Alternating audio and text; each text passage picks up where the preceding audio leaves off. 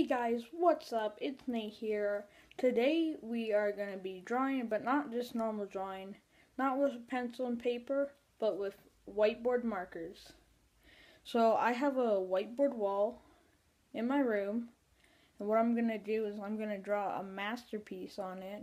I think I'm going to draw three medieval characters with just a marker.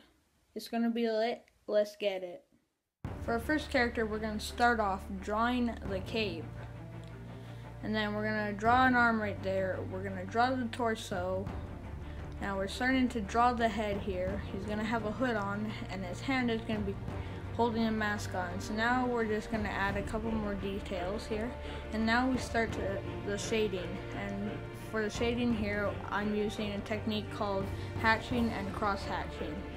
And I drew a circle up in the corner so and that represents the light source, so now I know where to shade. Now we start the second character, which is going to be like a female rogue. Draw the head. Now we're starting to draw the, the torso here.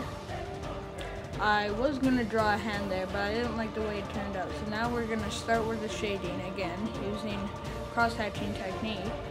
Here now, we starting on the third character, starting with the face there. Now we're adding some of the shoulder cape, add the shield with the arm holding it on. Starting to draw the torso here a little bit. Um, I changed the height because I didn't like it, added some of that detail there.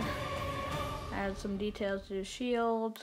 Now we're adding like that uh, loincloth there. Now we're starting on the helmet here. And I start with that hatching on the arm and finishing with the cross hatching for the shading.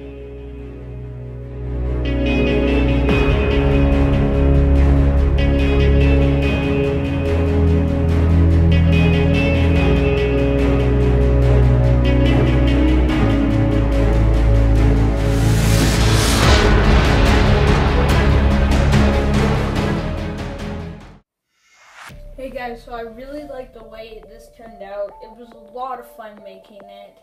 Took a long time.